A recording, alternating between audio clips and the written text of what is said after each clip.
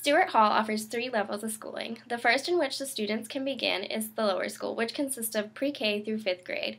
The lower school strives to integrate core educational values such as the five C's of learning creativity, critical thinking, communication, collaboration, and character building. As a capstone, each fifth grader presents a commencement speech for an experience in public speaking.